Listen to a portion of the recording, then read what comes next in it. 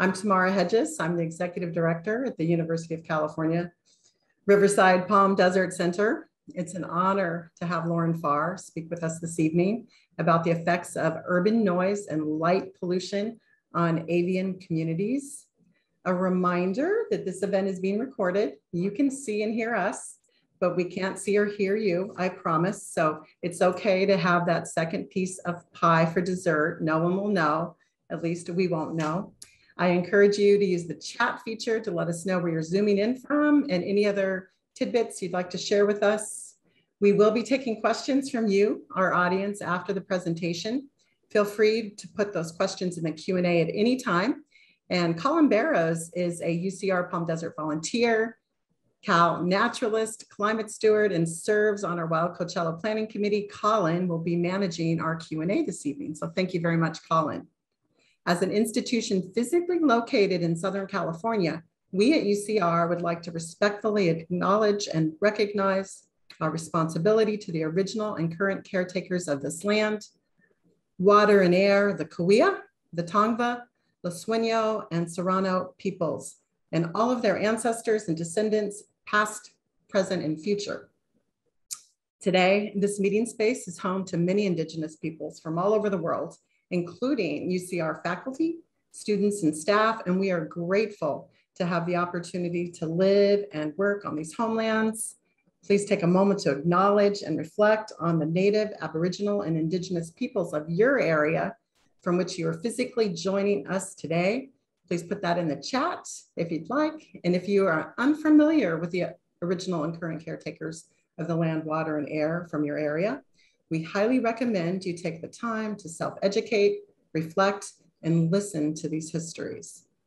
Before we get started, I have some additional messages of gratitude. Thank you very much, our UCR Palm Desert Center partners. I see some of you here this evening.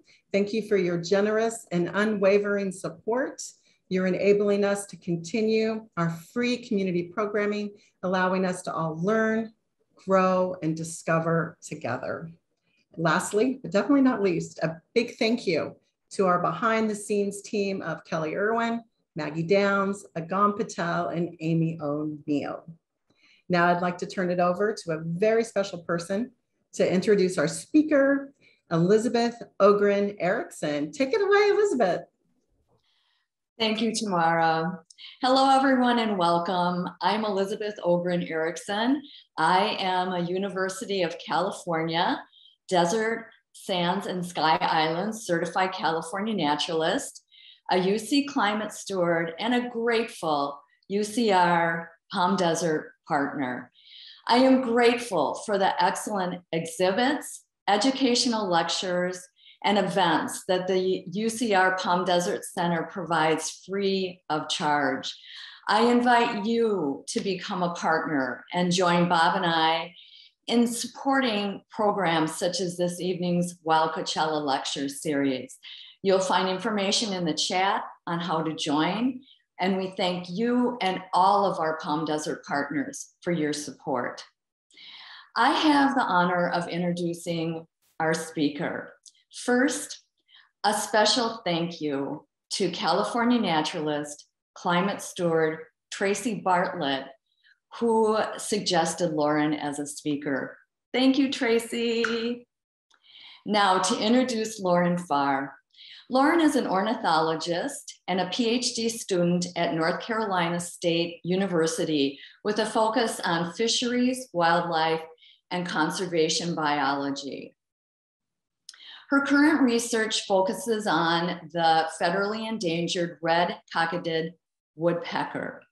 She is an engaging science communicator and has presented to Georgia Audubon and Hog Island Audubon.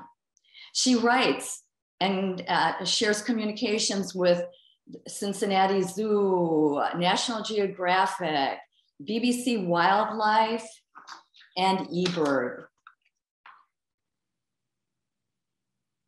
Uh, Lauren is an associate editor for North Carolina Sea Grant's award winning magazine Coast Watch, as well as an editorial advisory board member for the Wildlife Society's magazine titled The Wildlife Professional.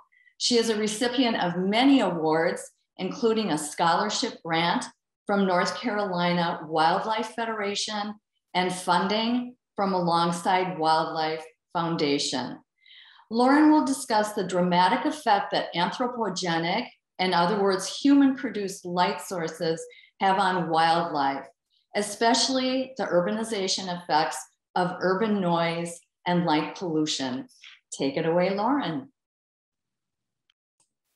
Thank you so much, Elizabeth, for that lovely introduction. You have me over here flattered. Oh my gosh. Um, so first and foremost, I want to give a huge thank you to the UCR um, Palm Desert, you know, uh, team. Um, thank you for, you know, inviting me out to speak with you all this evening. Um, I'm super looking forward to this presentation. Uh, so without further ado, I'm going to go ahead and share my screen. But I also want to thank you all from wherever you were joining from. I saw people from Florida and Wisconsin and Idaho, which I have been to Idaho. So um, I just want to thank you all for choosing to, you know, spend your evening with us. Um, so let's see. Without further ado, here my screen should be shared. Can someone let me know if it's all good on your end? Looks good. Thank you, Lauren. Wonderful. Thank you so much. All right. So, like Elizabeth had discussed tonight, we are going to be talking about the effects of urban noise and light pollution on avian communities. But before we get started, I want to sort of give you guys a little bit of background and history about myself. Um, so I graduated from Wingate University in 2019 with my Bachelor's of Science degree in environmental biology. From there, I um, attended, still attending NC State University, um, and I received uh, my master's in fisheries, wildlife, and conservation biology in May of 2021. And I loved NC State so much that I couldn't leave just yet. So from there, I decided to continue on and pursue my PhD, still in the same um, area of study. And that's where I currently am right now. So I'm joining you all from Raleigh, North Carolina. A little bit about my research. So in undergrad was when I first started out um, doing research. So I've done research in reproductive physiology. So specifically, I've looked at the effects of twin lambs on a mature ewe or their mom, basically. Um, and then from there, I moved sort of into behavioral research. Um, I did behavioral research for about two years there, researching Chinese blue-breasted quail and analyzing their vocal harmonics um, as they physically matured. So when I first started that research, that was the research that ultimately sealed the deal for me wanting to study and learn more about birds. And I also took a wildlife management course that essentially got me interested in learning more, wanting to learn more about wildlife biology. So from there, I went to NC State University. And so for my master's work, I researched urbanization and its effects on avian survival, which is what I will be discussing with you all tonight and sort of diving into my master's work toward the end of my presentation. But currently now for my PhD, I have switched gears a little bit. Um, so still focused on climate change, but looking at nestling success in the federally endangered red cockaded woodpecker. So as Elizabeth has already explained to you, but I'll just touch on them one more time. Aside from my research, I am also heavily involved in other activities here at NC State and beyond. So I currently serve as a student representative on our department's um, Diversity, Equity, and Inclusion Committee. I am an associate editor and intern at North Carolina Sea Grant, where I write and publish articles, blog posts, help them with other, you know, side things, if you will. And um, I'm also an editorial advisory board member for the Wildlife Society um, for their magazine, The Wildlife Professional. So aside from all that, I do consider myself a freelance writer, which is where my science communication comes in. So just like I'm speaking to you all tonight, I love giving presentations and talks like this, as well as writing more about my research, about birds, about wildlife, you name it. So I have been a freelance writer for the Nature Conservancy's Cool Green Science blog. I still currently am. I've also written for BBC Wildlife, and I have contributed articles to National Geographic. So now that we got all that boring stuff out of the way, um, I will go over with you here just a brief outline of what we will go over in this presentation this evening. So first, I will sort of start out with an overview of the urban urbanization impacts that we're seeing on species. Then I'll sort of narrow it down to an overview of noise and light impacts on species. Then I'll dive more specifically into light and noise pollution effects on birds, which is why you are all here this evening. But again, I feel like it's important to sort of talk about that urbanization as a whole and then sort of narrow it down to the species that we want to talk about this evening, which is birds. Then I will dive into my um, research that I did, my master's thesis on urban noise and light pollution and avian survivorship. And then last but not least, um, I have a slide in here with some resources, but there will be some links um, inserted in the chat as I'm talking as well, but I have those resources again on another slide um, just for reference. Okay, so this is actually my first time in a while giving this talk. Um, I've given this talk multiple times um, and you know, tons of organizations that I've given this talk to have absolutely loved it. Um, so I always like to start out this talk sort of setting the scene with this um, picture, if you will. So in this picture here, we see that we have a witch and we see that she is currently residing in an urban area. We see tons of houses. We see a guy that's mowing his lawn. And we see that the witch is saying to her neighbor, I remember when this was all forest. So as we could all imagine, the witch was comfortably living in the forest by herself. And then all of a sudden, here comes this land development, this massive land development, and all of these houses that have popped up around her. So as we see now currently with, you know, tons of land development that's going on around us, I drive up and down the roads every day. I see tons of, you know, houses being built and everything. So it always takes me back to this depiction, really. So um, this quote slash statistic I pulled from a study by uh, et al., which states that urbanization defined as the population shift from rural to urban areas is projected to increase by more than 3 billion people between the years of 2010 and 2050. Now, that may not seem like a lot to some people, but once we put it into perspective within those years, that's a ton of increase as it relates to urbanization. So again, just wanting to set the scene there, but as I go through this presentation, you um, will, I wanna introduce these two terms to you. I may or may not um, use them. I may just stick to urban noise and light pollution because it's easier and not so much of a tongue twister. But when we get into talking about studies and research when it comes to urban noise and light pollution, you will most likely hear these two words um, and see these two words used a ton. So the first word we have is anthropogenic. So um, anthro meaning human, and basically um, stating that anthropogenic is chiefly of environmental pollution and pollutants originating in human activity. So basically this is anything that we as humans are, you know, bringing on, we as humans are causing. So this is where the term anthropogenic comes in, hence the term anthropogenic noise um, or anthropogenic light pollution. And then you'll also uh, see or hear this term artificial light at night or ALAN as the acronym. And this is a light source that is not naturally occurring. So a ton of research studies when they talk about, you know, artificial light, they will use this um, term and this acronym, you know, um, a ton. But so when we talk about artificial light at night, we're talking about light that's coming um, from light sources such as illuminated buildings. They can come from our cars' headlights. Um, they can come from our street lights in our neighborhoods. So this is what we mean when we talk about artificial light at night. So again, I just wanted to introduce these two terms to you all, but I think I'll just keep it basic and just say urban noise and light pollution for this evening. So I first want to start off with discussing um, urbanization as a whole and sort of what we see um, the impacts of urbanization on different um, animal species before we get more specifically into birds. So I have pulled four different animal species here, but keep in mind that the examples that I've pulled, they can, you know, be related and can factor into many other animal species, not just this one, but these are factors that we may think of as quite common when it comes to these animals in urban areas. So the first thing we have is deer. So when it comes to deer and urbanization, um, with all this land development and housing developments popping up, deer um, are, you know, losing their forest habitat. So they, um, the lack of forest habitat is, you know, sincerely decreasing. But don't get me wrong, deer populations are doing fairly well.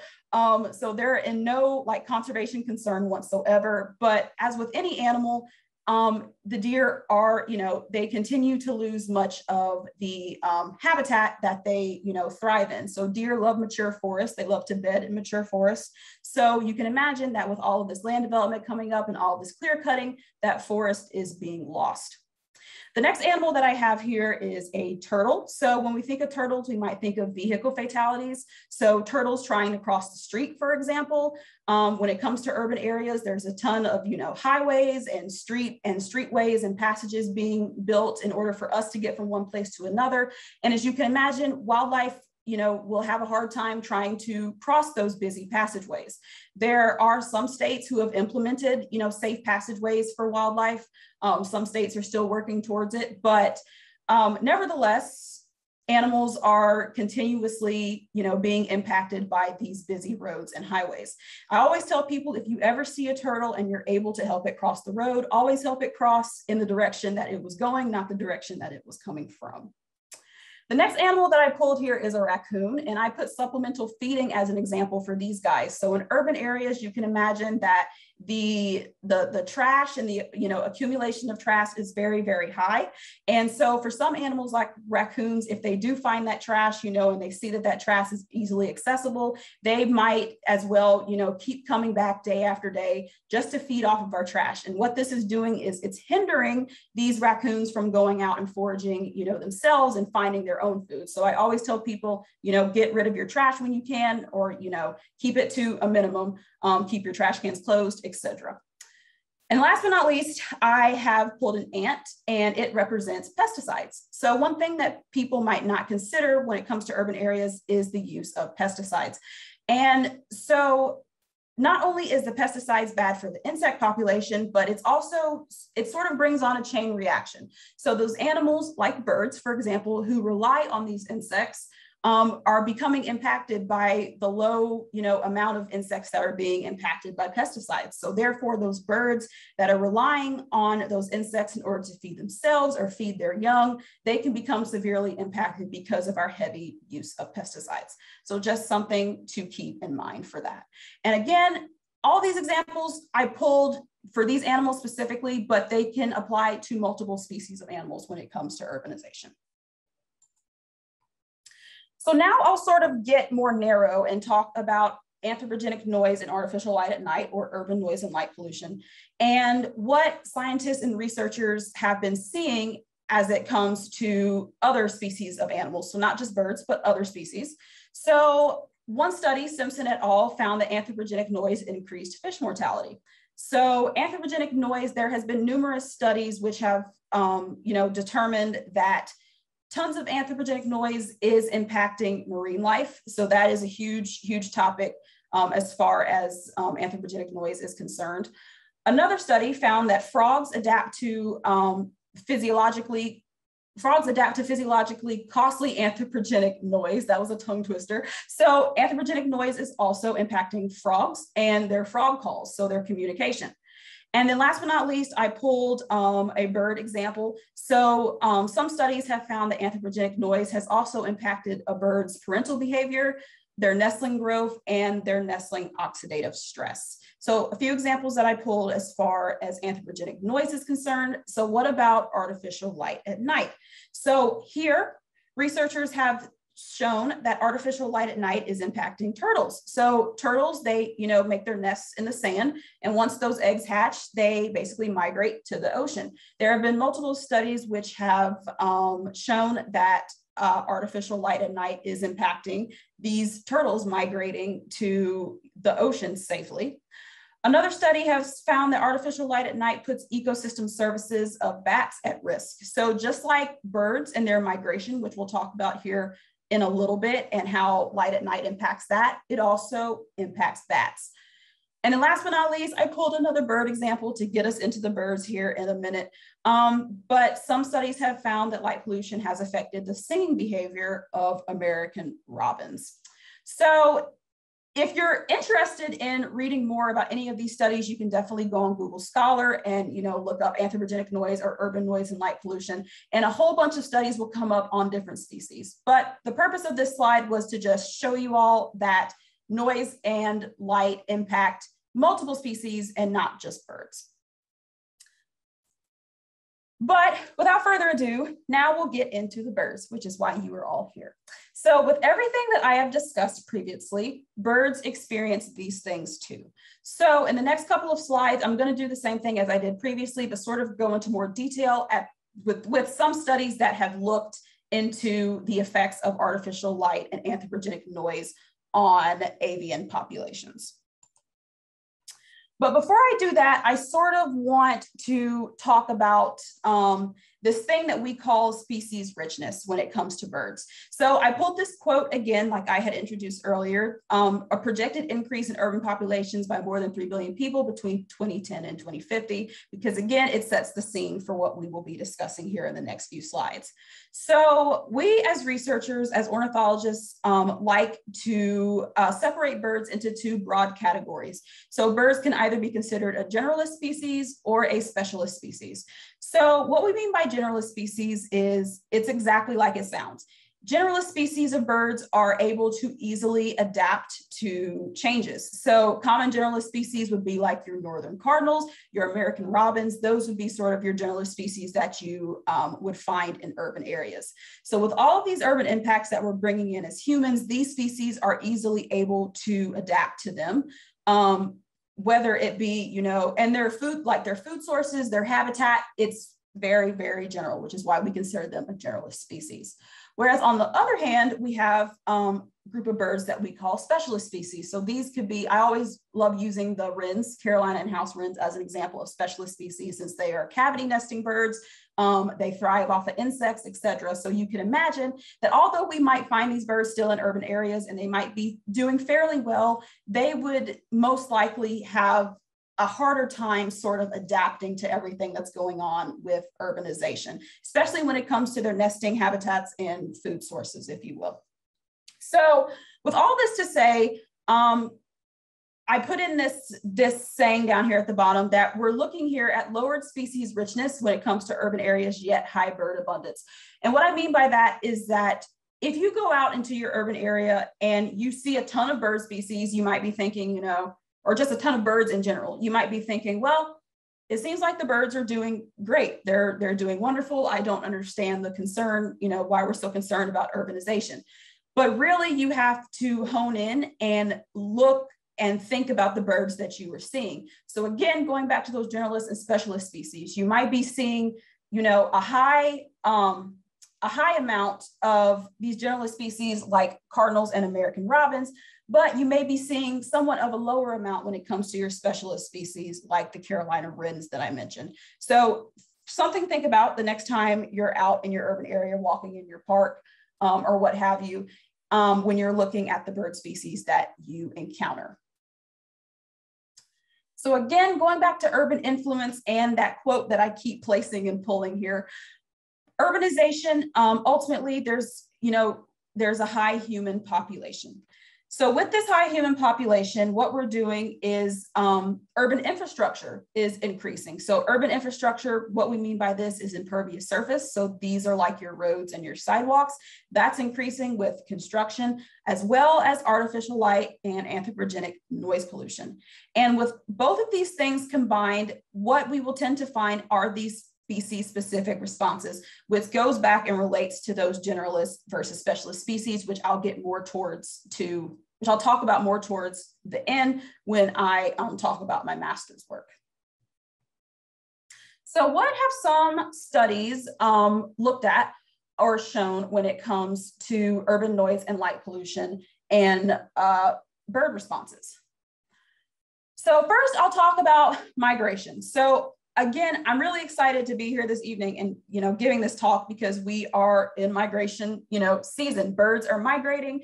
Um, you know, you might be seeing in your uh, bird groups, um, you know, that people are advocating for, you know, uh, businesses and buildings to turn out their lights in order to help birds migrate.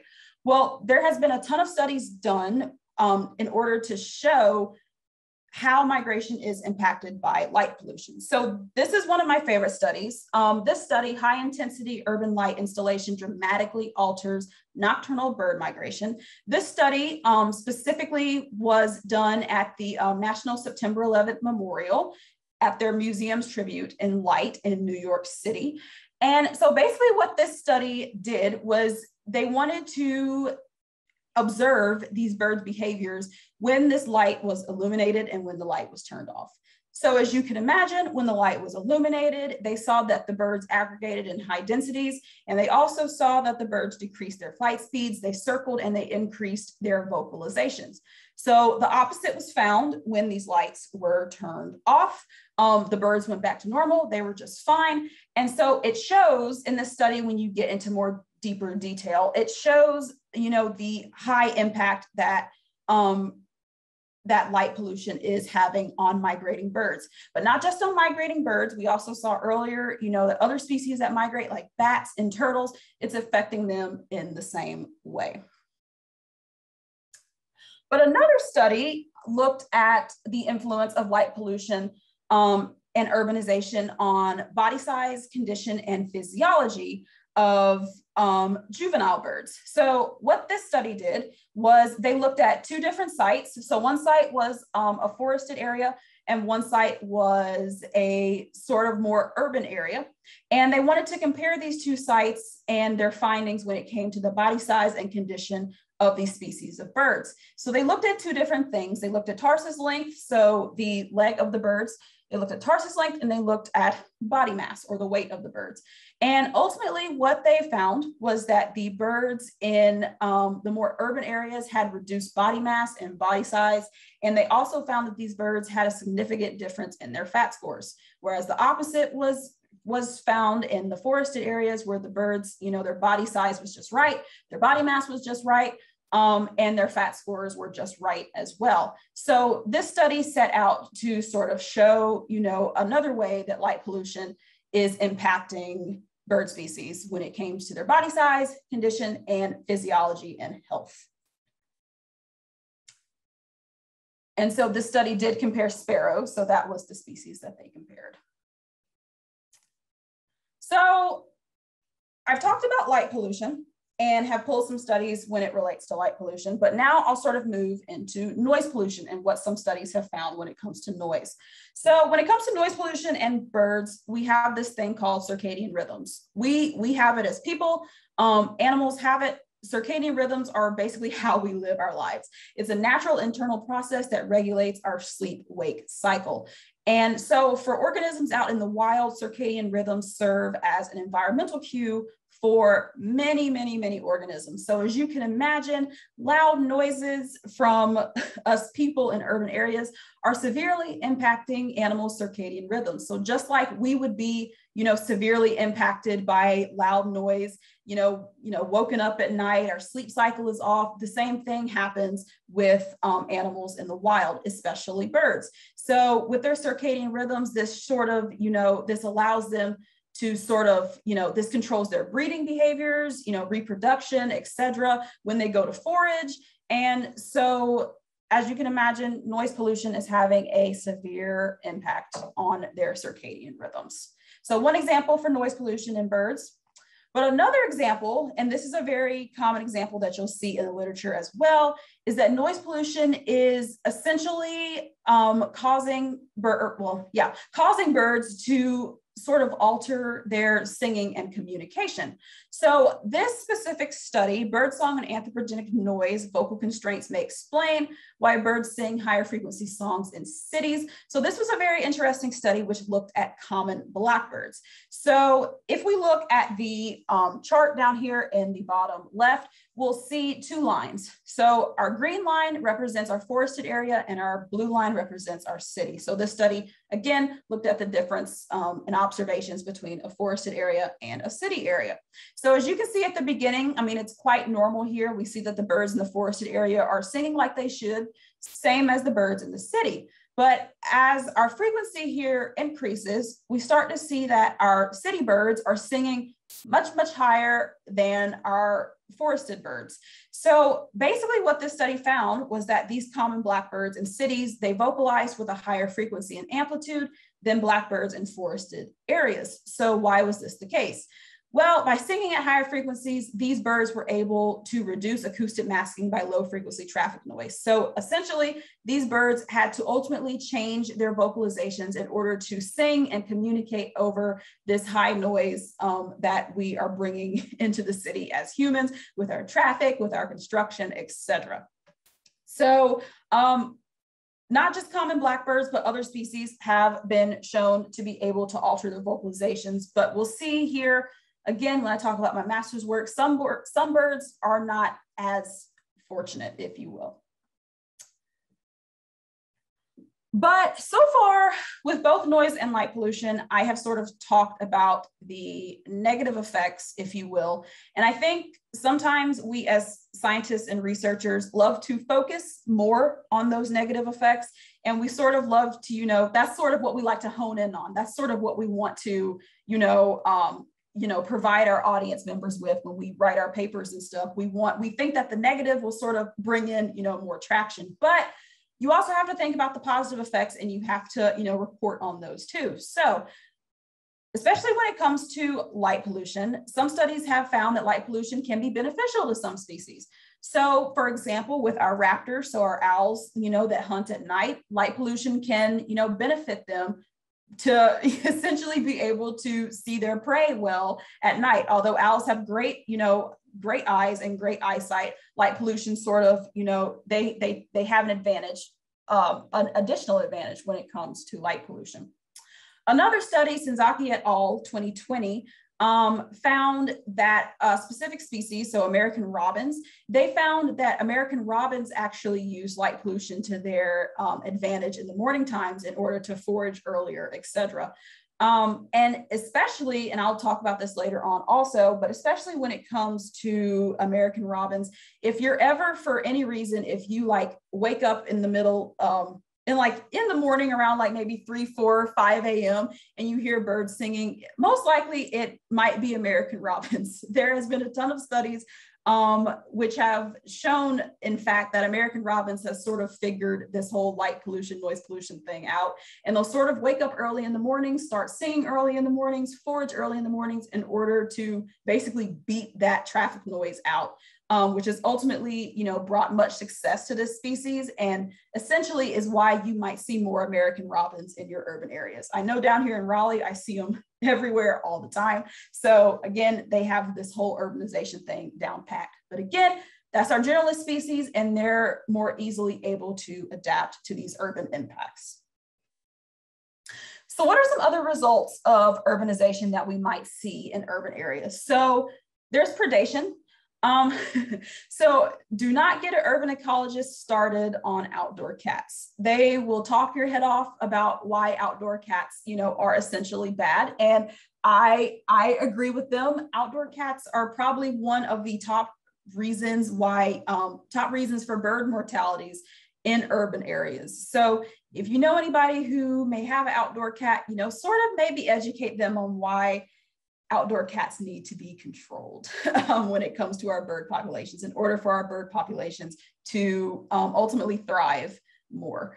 Um, and then as well, we also have uh, raptors in that, you know, might be in the, in the cities. So falcons, et cetera, if you will. Um, they can be in the city too. And these birds will sort of prey on, you know, smaller birds um, in the city. But again, they're not so much as responsible for bird mortalities as cats are, but you know they can they can they can they can cause sort of they can pack a punch when it comes to um, mortality rates um, in our bird species in urban areas. Another thing is species richness. So we've touched on this before, going back to the whole species richness thing with the generalist and specialist species. So we might be seeing, you know, lower amounts of species richness in our urban areas due to what, you know, our urban areas have become. So anything from, you know, uh, nesting habitats, so like where birds can nest, to their food supply, which is the other example that I have here. All of this sort of determines what sort of birds we are going to see in our urban areas. So again, touching back on food supply, I mentioned the pesticides. Again, that's another, you know, thing that we have to consider. So even around our own homes and stuff, we want to try to limit the use of pesticides. Um, I do know, you know, that business buildings and stuff, even housing developments, when they want to plant these, you know, nice flowers and whatnot, um, they will use, you know, pesticides to sort of, you know, control that. But again, we sort of want to limit our use on pesticides for food, the food supply and insect sake, which will ultimately benefit our bird species. Okay, so now to the very, very fun stuff. so um, throughout the rest of the slides here, I'm going to sort of be discussing my um, master's research and what I did as a master's student. Now, this research, I am currently working towards getting it published. Um, when you work with co-authors, that's, you know, a whole thing. You have to consider, you know, getting everything to their standards and getting all their their suggestions you know implemented. So it's been a while but i'm getting ready to submit to publication. So once i have that i can certainly pass it off um, you know to you all to view um, on a later day at your convenience. But um, until then i'll sort of briefly go through my master's thesis because if I were to go through it all, we would be here for another 30 minutes. So I sort of dimmed it down to where I could still get my point across um, on what I researched and what I found. So essentially what I did was I took data from the Citizen Science Project Neighborhood Nest Watch. So a 20 year data set, they let me use 20 years of their data, which I'll get more into in the next slide. And I looked at the survival rates of adult songbirds in relation to anthropogenic noise and light along an urban to rural gradient. So my overall objective was to use this 20 years of data in order to estimate the apparent annual survival of seven different bird species, which I'll introduce to you later on, in relation to light pollution, noise pollution, and impervious surface. So I specifically focused on light pollution and noise pollution, but impervious surface was just automatically there because it was ultimately a factor that sort of contributed to the responses that I got from these different birds. So impervious surface plays a huge role in these birds, you know, species specific responses. So again, impervious surface, our roads, sidewalks, etc. So my overall prediction was that even urban adapted species would experience some sort of reduced adult survival when it came to light pollution, noise pollution, um, and or impervious surface. So although I have discussed that, you know, generalist species, you know, they can sort of adapt very well to urban areas, I still predicted that there would be some sort of factor in there that would um, reduce their adult survival, if you will. So first I'll talk about Neighborhood Nest Watch. So what is Neighborhood Nest Watch? I'm sure some of you might have heard about Neighborhood Nest Watch, but it is a citizen science project, which um, is based out of the Smithsonian Zoo.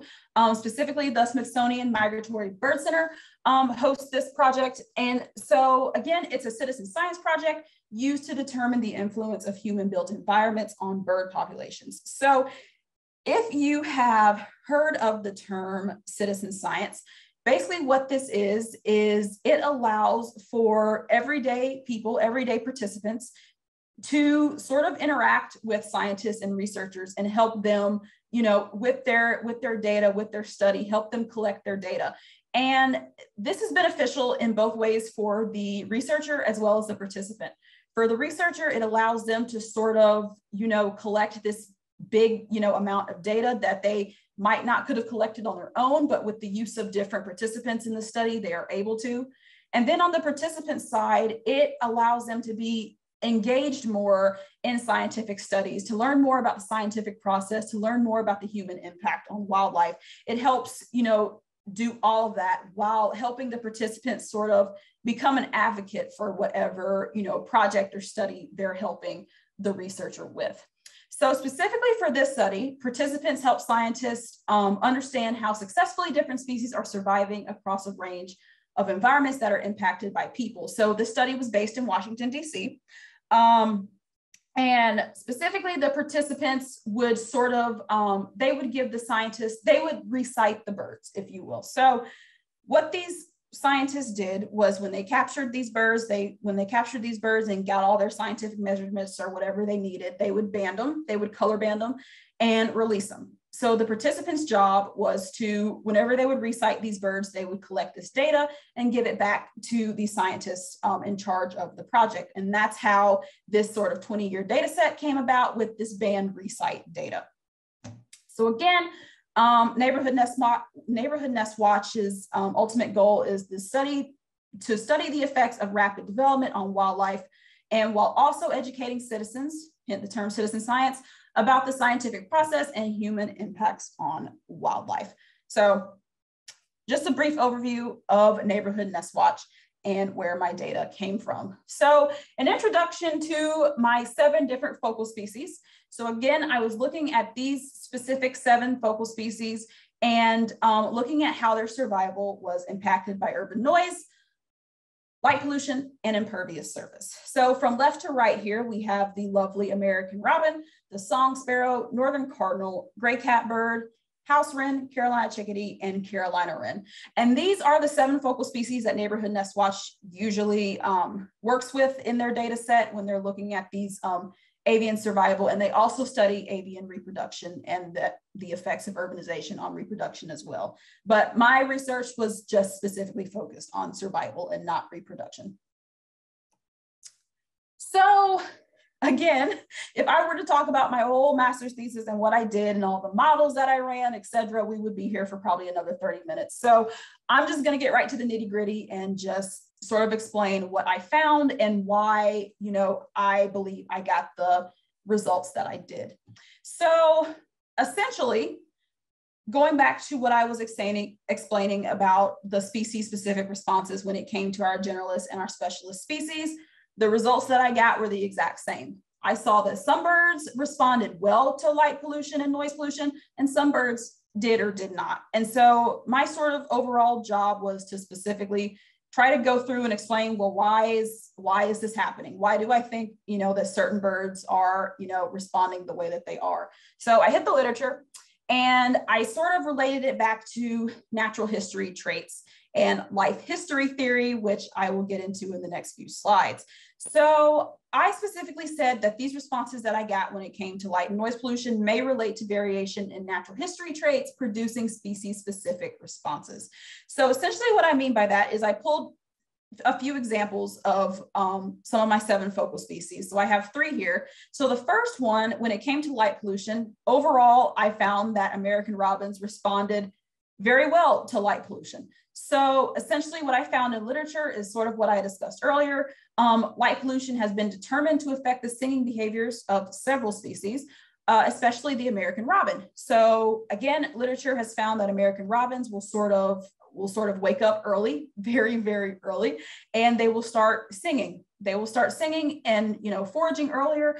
And so again, they have the whole urbanization thing down pat when it comes to American robins. So their so their response to light pollution did not surprise me one bit.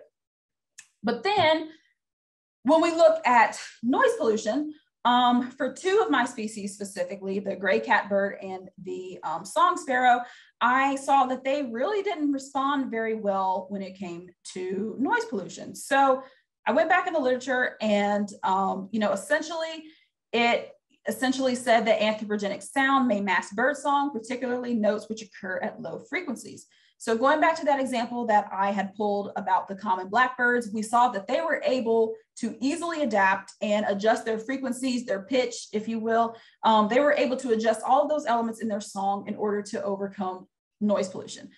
However, like I had stated, you know, some species may not be, you know, that lucky and may not, cannot easily adapt when it comes to noise pollution and changing their frequencies, if you will. They might can change them, but they may not they may not can change them to where it's you know a huge impact. So for these two species i saw in the literature that you know when it came to their song a lot of their songs are sung at very low frequencies. So these two species very well might have had you know a harder time to adjust to the impacts of noise pollution and sort of you know again you know altering their songs in order to overcome noise pollution. So this was essentially um, what i had proposed as to why I got the responses of these two species that I did. But ultimately, also, I bring in life history theory. Now, again, this is another one of those things where if you would like to learn more about life history theory, I would highly suggest you, you know, look it up online, go on Google Scholar, you know, go on, you know, scholarly sources in order to sort of understand what life history theory is. Because at first, I did not. I was I was talking to my advisor and I was like, wait, like what like what is this? But so I'll try to break it down in the simplest terms that I can. So basically, life history theory states that organisms experience constraints between growth or survival and reproduction. So essentially, we have organisms, which is represented in the image um, to the right here. So we have reproduction, we have growth, and we have our trade-offs, which is represented by the red line with these circles. And we have this small blue circle at the very top there that's described as the immortal and highly fecund organism. And essentially what this chart is trying to describe is that there is a trade-off between reproduction and growth. So this idea of this ideal, immortal, and high fecund organism does not exist, which essentially says that there is no, no organism on Earth that has a high survival and a high reproduction. It just does not exist. So it has to be either or, which means some organisms might put in more time and energy to survival, which means less time for reproduction. And some organisms might put in more time for reproduction, and which means less time for survival. So it's either or, it cannot be both, which is where we get this trade-off from this life history trade-off. So again, this organism does not exist because it means that this organism would live forever and produce many rounds of offsprings, which we know is not true because everything dies. So essentially, there's no organism on Earth that is this immortal and highly fecund organism. So just to give you some real life examples here, we have um, an albatross on the left and just your basic duck on the right. So species of albatross, they have a very long lifespan, but they have low reproduction, which essentially shows us that they put all this time and energy into, you know, living and surviving, which means they have less time to put into their reproduction. Whereas with the duck, it's the exact opposite. So ducks have a very short lifespan, but they have very high reproduction. Ducks are reproducing very, very, you know, ever so often. So with that, they have a shorter lifespan, but they put high amounts of energy in their reproduction. So life history trade-off, just like, you know, this that scale that I have there pictured, you just have to think of it as, you know, either high reproduction, low survival, or high survival and low reproduction. It's either or, it cannot be both. So essentially, I took this theory and put it towards my research. And this was the ultimate theory that I um, sort of um, used as a way to explain why I thought my bird species responded the way that they did, which goes back to those species specific responses that I discussed earlier. Species, whether they're a generalist or a specialist species, depending on their life history and their natural history, it is ultimately going to determine um, how they respond particularly when it comes to urbanization as a factor. It's going to ultimately determine how these bird species respond in these urban areas. So putting life history theory with my research, again, it assumes a trade-off between survival and reproduction. So I basically stated that if artificial light and anthropogenic sounds are stressors that negatively affect reproduction, then it's possible that these birds compensate with a higher survival. And as with the opposite, if artificial light and anthropogenic sound are stressors that negatively affect survival, then it is possible that birds compensate with higher reproduction. So again, if you want to learn more about life history theory, I highly suggest you go on Google Scholar and just look up life history theory. There's tons of papers there that can explain it to you. Um, but I hope, I hope I sort of explained it in a way that makes sense. So I always think of it as that trade-off, higher survival, low reproduction um, and you know, just that switch. So ultimately, I wanted to sort of end this presentation a little bit with some good news. So earlier I had discussed, you know, migration and all of these calls to, you know, turn out the lights in order to help birds as they migrate. So I want to shout out my two favorite cities, Raleigh, North Carolina, which I reside in right now, and Charlotte, North Carolina, which I um, was, I grew up right outside of Charlotte. So Charlotte is like my, you know, my other home away from Raleigh. So with both of these, um, there have been initiatives in order to sort of turn out the lights in order to help birds migrate. So Raleigh was actually the first major city um, in the state to commit to this initiative. So go Raleigh. And then um, Charlotte is um, it says right here, you know, that they're really encouraging that even the Duke Energy Center, one of the city's most iconic buildings, um, is turning out its lights for birds. So that, you know, is a huge, a huge thing. And um, it gets me really, really excited because it's showing that these initiatives, when it comes to migration and birds, are really, really taking you know, taking flight, if you will. And there's been changes that are being and continuously being implemented. So again, I just wanted to give a shout out to my two favorite cities. Um, But last but not least, I wanted to sort of leave you all with some light pollution solutions as well as noise pollution fixes. Now, I will say that the light pollution solutions are much easier to talk about than the noise pollution. Um, so I always get questions all the time from people, well, what can I do, you know, in order to help out the animals, to help out the environment, um, be environmentally friendly, etc. So again, I like talking about the light pollution solutions. Noise pollution solutions sort of get into, you know, government and policies, sort of like the higher up, you know, higher up on the on the um, you know, on the charts, if you will. So, but I'll still sort of talk about what they have been doing as far as noise pollution. But when it comes to light pollution, some things that we can do is we can switch to LEDs and compact fluorescence. This, you know, reduces the the energy that's being, you know, um, that's being emitted um, in the environment. We can make sure to turn off lights indoors when not in use. So if you're not using a light indoors, go ahead and turn it off. Motion sensor lights are a big one. So instead of having lights that are on all the time, you can use motion sensor lights that are only on for a short period of time and you know turn off a bit later. And then outdoor light fixtures that shield the light source. So I know in a ton of you know neighborhoods and stuff, we have a ton of you know lights and light fixtures going up and down sidewalks because essentially we have to see at night. I mean that's a no-brainer. We have to see at night, but there are um, more um, environmentally friendly ways like um, you know uh, implementing and adding a shield to that light source in order to um, help shield out that light source in order for it not to be you know emitted everywhere so um, again also going back to like the buildings essentially so you know big name buildings and office buildings if you will you know billboards even all of these things are illuminated at night and if nobody's in them especially the buildings. If nobody's in them, there's no reason for any lights in the buildings to be on. So um, again, it just depends on, you know, the, what state you're in. Some states have made this change. Some states are working towards it.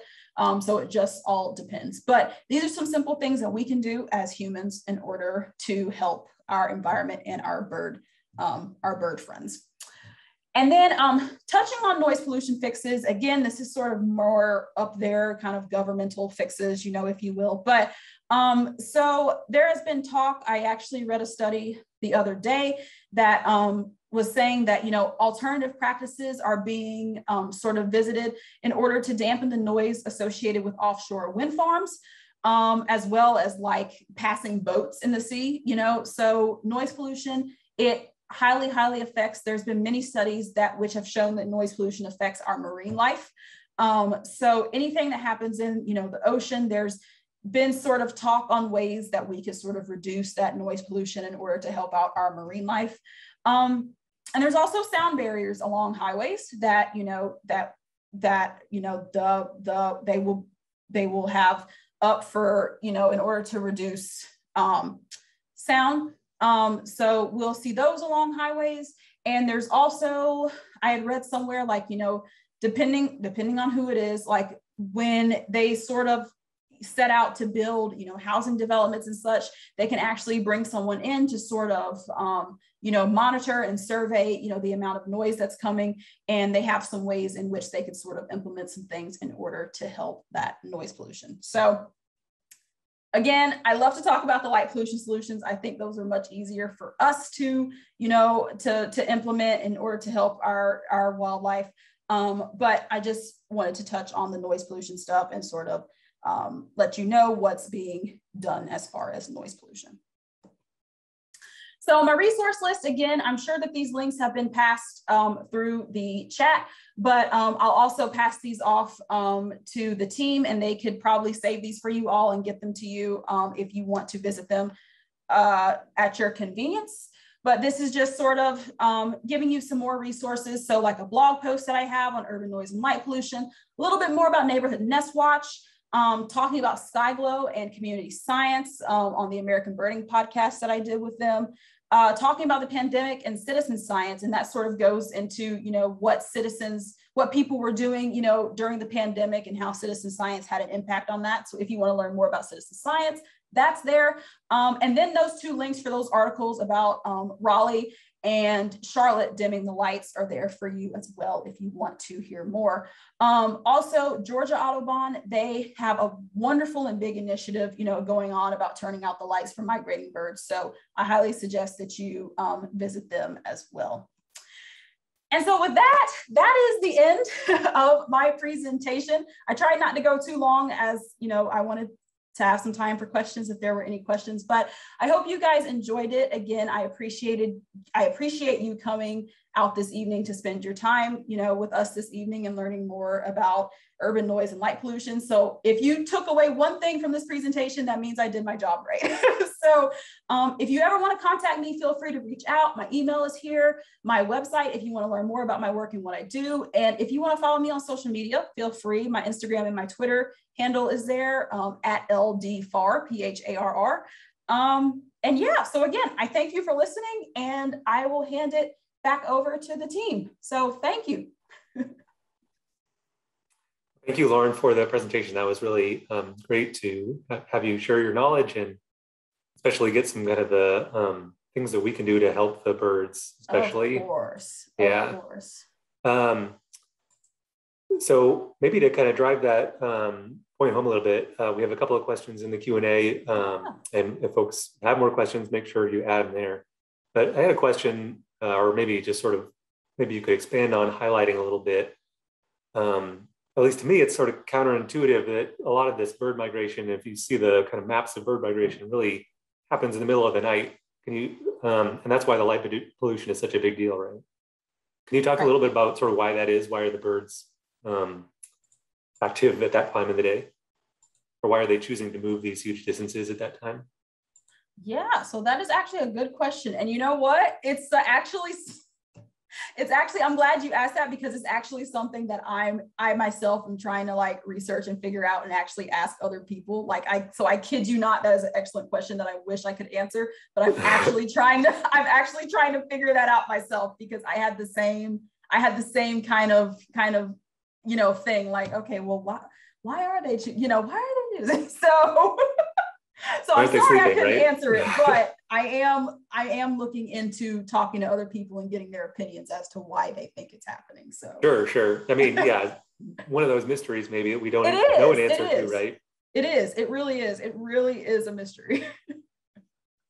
maybe when we learn to speak bird, we'll figure it out. But yes, till then, yeah. Um, Let's see, we had a couple of questions coming into the chat now. Uh, so I'll start off the top here. A question from Gary about other uh, emission effects on uh, wildlife, like in terms of, there's a question about carbon monoxide. Um, have there been studies there as far as, you know, obviously carbon dioxide and methane and these other things are affecting the environment in general, but are they affecting wildlife specifically? Oh yeah, for sure, for sure. And that's actually a good question. So thank you for that.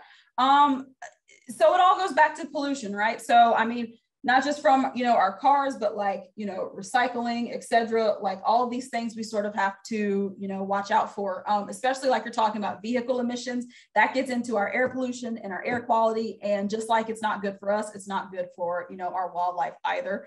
Um, so I, I'm sure that there have been studies that have looked more closely at that.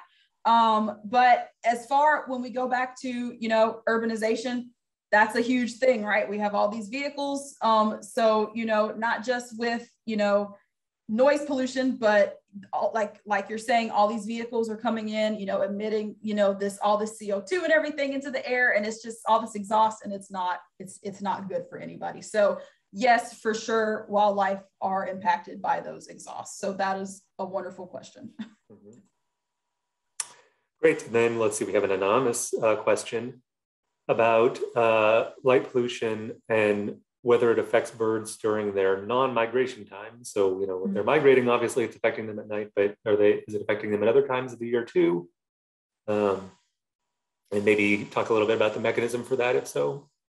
Yeah, yeah, for sure. So, um, so if I if I understand correctly, so the you're wanting to know how light pollution affects birds during their non-migration period. Right. I mean, I guess it it, it makes sense that if there's a lot of lights on at night, then the birds are flying over in the middle of the night, then they're being put off course or something by that. But yes, is the the same effect there when they're just inhabiting a neighborhood, um, you know, living Ah, in a, that's- Well, that's a good question. That's a good question. Um, same effects when they're having neighborhood. So I, I would say yes, um, because again, as like some of the studies that I have presented, um, just birds like living in a neighborhood with these, um, you know, high noise, not just noise, but and light pollution areas.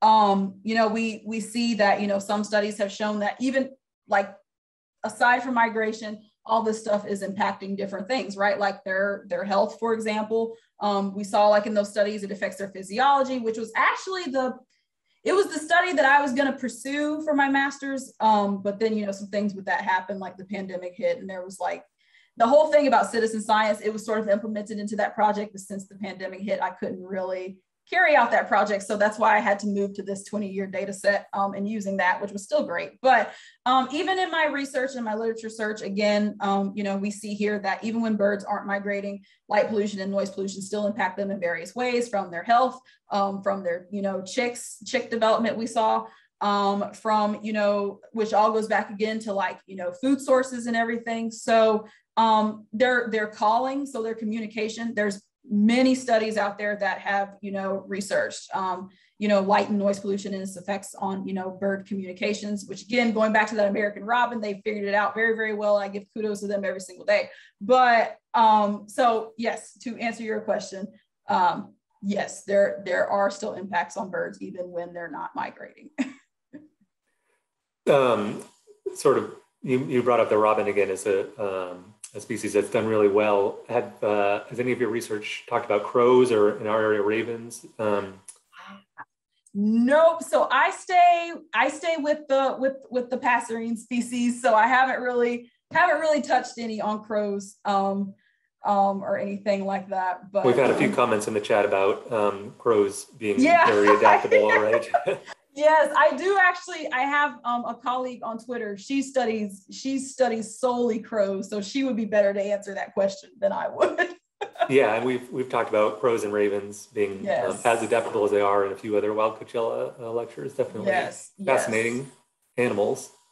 they Um, are. They are.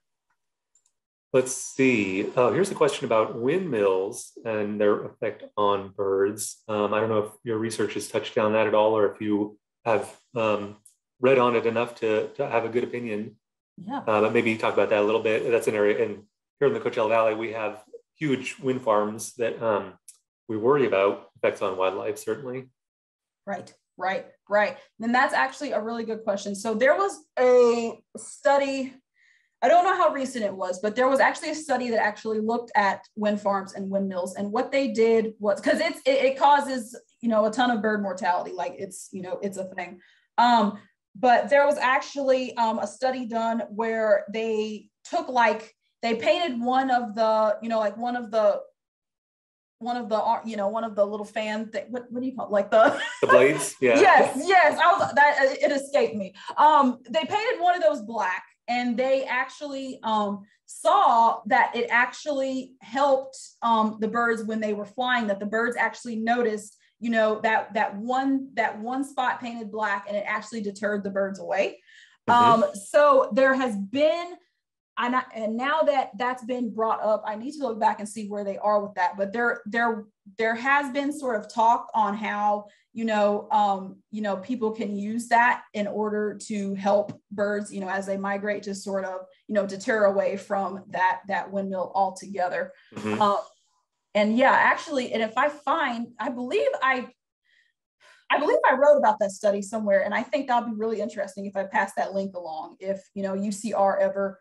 post these links or pass them pass them along to the participants, I'll definitely include that link in there because it's a very interesting study to look at. Sure, sure, yeah, and um, I think I know they definitely have been posting the links that you shared in the chat, so folks can follow those and um, Yes, check out your website. And it sounds like some of this, the things you've written about are there. I, I checked it out a little sure, for sure. Yeah. Yes. Uh, let's see. I'm uh, looking through a couple more questions, but I wanted to go back to something you mentioned about um, the citizen science or community science Mhm. being a part of some of the research you wanted to pursue. Is that you said it like didn't work out because of the pandemic? Can you talk a little bit about so- that? Is there maybe a Yeah, I could to- I could totally talk about that. So I I didn't include it in the, it was in my previous presentation that I've done, you know, of talking about noise and light, but I didn't include it in this because now that I had finished my master's work, I really wanted to hone in on that. Whereas those previous, you know, presentations, I couldn't really talk about anything because I was like, well, I'm not there yet, but this is what I'm doing. Um, but so basically, what I wanted to, um, what I was going to study was still related to urban noise and light pollution, but looking at um, avian uh, physiology, avian health, if you will. Um, and so to do that, so the the the advisor that I'm under here at NC State, she is a huge citizen scientist. She all her work is, you know, most of her work is based off of citizen science, but her roots are in ornithology. Um, so, but I'm one of those special cases where, although I'm in a citizen science lab, most of my work does not really does not really evolve around citizen science, although, you know, I hear about citizen science all the time. But for this specific project, it was going to involve um, citizen science. So just like with Neighborhood Nest Watch, how they had those participants, you know, go out and resight the birds, um, I would have had participants actually, um, you know, engage with me and help me sort of um, you know, sample the birds, if you will, maybe like, you know, write down measure, like recording data, if mm-hmm. you will. Um, and so, because in order to, so my focal species was the northern cardinal. so, um, and so to do that, to, in, order to capture, you know, these birds and, you know, take all these measurements, we do what we call mist netting. So bird banders use, you know, mist netting in order to, you know, capture the birds, do what they need to do, and then they release the birds afterwards. Um, and so in order to do this, we were actually going to mistnet in these participants' backyards. And mm. so we found a way to sort of put that whole, you know, citizen science in there and sort of engage our participants with that because in order to participate with this project, they had to, you know, learn more about it and sign up and, you know, be willing to host myself and my research team out in their backyards in order to capture these birds. But however, due to COVID, because that was right when, you know, COVID was starting and things were very, very scary, yeah. we sort of, you know, we sort of kind of put a halt to it and we were like, okay, well, there's going to be a lot of, you know, interaction with people and we don't know, you know, how that's going to go. My school had all these different protocols that we had to do. We had to like write reports to say, you know, well, why we think our research should go on and all this stuff. And we just sort of, we put a pin in it, if you will, yeah. and we were just kind of like, yeah, we just don't think this will be doable with what we want to do with the whole citizen science aspect. So I'm hoping that if another grad student comes along, they will be able to carry out that project because everyone was super excited about it.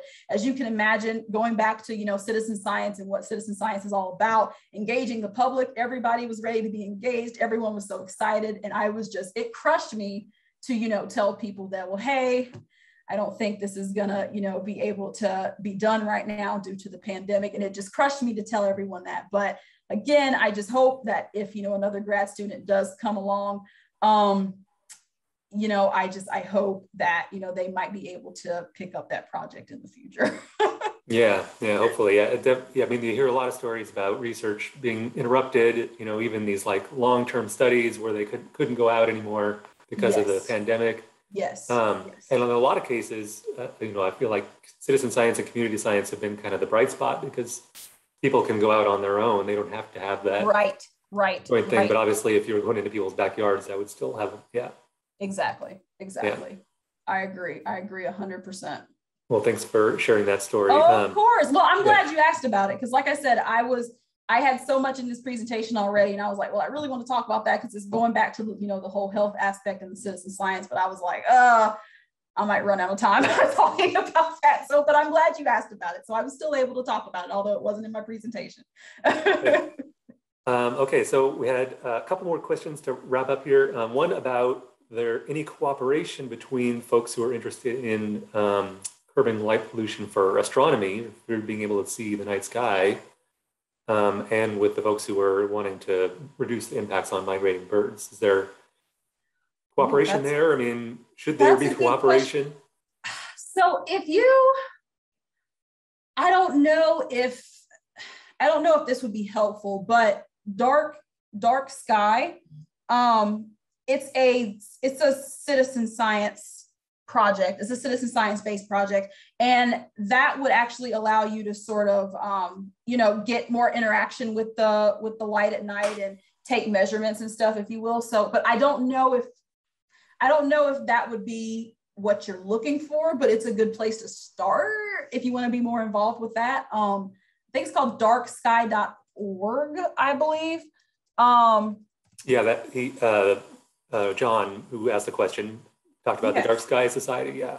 Yes, yes, Yeah. International Dark Sky. Yeah, that's it. That's it. So, but again, I, that that might not be where you're leaning towards, but I think it's a good place to you know start if you. Yeah, I mean, I think like the kinds of lights, I know if you go to the hardware store out here, at least some of the lights you'll see will say like dark sky certified yes. for like patio Sure. and stuff like that. So I assume that those same lights are going to do have the same beneficial effect. Yes, yes, yes, So, you know, they're lights that basically point down at the ground instead of pointing up at the sky. So yes, yes. uh, for folks who are maybe wanting to think about changing their outdoor For decor. sure. For sure. For sure. Um, for sure. For sure. And then uh, we have one more question we can wrap up on um, about some birds uh, which seem to be active maybe at certain times of day anyway, or at least we observe them at different times of day anyway. Like they're talking about a morning song, birds being active in the morning. Um, does that, I guess, is that relationship um, come have any relationship to the, the noise pollution and the light pollution? Is it just kind of a a natural part of the bird's uh, behavior or both? Um, Mhm, mhm. So it can it can be it from what I from what I get from it, it can be both. But the research that I have um, read about, you know, in the literature, um, again going back to American robin. So there's been tons of research done with the European robin, um, especially. Um, and so they sort of seen, and they were looking at, you know, light and noise pollution specifically. And so they sort of, you know, saw that, you know, again, why I keep giving kudos to the American robin, um, they sort of saw that, you know, the American robin sort of took advantage of, you know, singing earlier in the mornings, um, foraging earlier in the mornings, because they were able to do that early in the mornings in order to avoid all of that noise pollution, um, you know, that we, you know, that we bring on as humans when it comes to noise. Um, same thing with light. So that Senzaki et al. study that I had mentioned, um, they sort of, you know, saw that American robins use light to their advantage as well and was able to use that in order to forage. And with that, their like chick success was, you know, much, much higher than the, you know, other birds that they have seen. So um, I really, I, I think it, again, I think it really depends on the species. Um, I've I've read more about American robins than any other species when it came to that. Um, but um, yeah, so but a good a good a good question though, a very good question. great. Yes. Uh, well, that that wraps up the questions. Uh, Yeah. and and will- I did actually, um, I did want to say something. So Natasha in California, Sure. she made a comment in the chat, and Natasha, you were absolutely right. And when I was when I was speaking about that, I meant to speak about that. I didn't put it on my slide, but I totally, totally forgot. So when I was talking about the LED lights, um, specifically, um, Natasha is right that you know those high light intensities. It depends on the colors that you get. So um, for the LEDs, so she is absolutely right that you know studies um, suggest using the ones with the warmer color tones, so like the orange colors and the lower light intensity. So I meant to say that, and I totally passed by that, but I'm so glad that you commented that, and I'm so glad I saw your comment. So thank you. yeah, thank you for pointing that out. I didn't see the one in the chat. Good. yes, yes. Um, right, and the, just the rest of the comments we have are all uh, thank you, and um, they're really appreciating the of course. the of resources that you're sharing and the, your presentation being clear and engaging. So thank you again for Thank sharing with us um, and being here tonight. Of course. And thank you all for joining us tonight. Looks like people are leaving pretty quickly after as the presentation comes to a close. So um, if you have more questions, make sure to uh, follow and uh, and uh, follow Lauren on social media and through her website. And keep your eye out for the next Wild Coachella, which will be coming up next month. Other than that, uh, have a good evening and weekend and stay safe, everybody.